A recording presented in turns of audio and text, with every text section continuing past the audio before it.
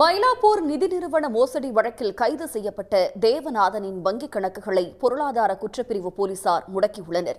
இந்திய மக்கள் கல்வி முன்னேற்றக் கழக தலைவர் தேவநாதன் மயிலாப்பூர் இந்து சாஸ்வத நிதி நிறுவனத்தின் தலைவராக இருந்து வந்தார். இந்த நிறுவனத்தில் முதலீடு செய்த பணத்தில் இருபத்தி நான்கு கோடி ரூபாய் மோசடி செய்த புகாரில் தேவநாதன் அந்நிறுவனத்தின் இயக்குநர்கள் குணசீலன் மகிமிநாதன் ஆகியோரை பொருளாதார குற்றப்பிரிவு போலீசார் அண்மையில் கைது செய்தனர்.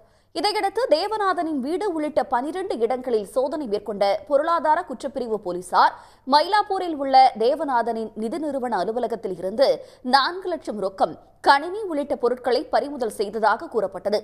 இதைத் தொடர்ந்து மயிலாப்பூர் நிதி நிறுவன அலுவலகத்திற்கு பொருளாதார குற்றப்பிரிவு போலீசார் சீல் வைத்தனர். இந்நிலையில் தேவநாதன் பெயரில் உள்ள ஐந்து வங்கிக் கணக்குகள் மற்றும் நிதி நிறுவனத்தின் வங்கிக் கணக்குகளை பொருளாதார குற்றப்பிரிவு போலீசார் முடக்கியுள்ளனர்.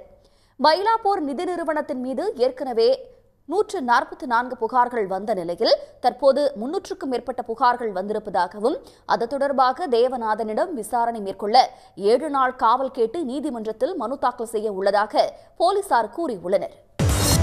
உள்ளூர் செய்திகள் முதல் உலக செய்திகள் வரை உங்களை சுற்றி நடக்கும் எல்லா செய்திகளையும் நொடிக்கு நொடி அறிந்து கொள்ள சன் நியூஸ் வாட்ஸ்அப் சேனலை ஃபாலோ செய்யுங்கள்.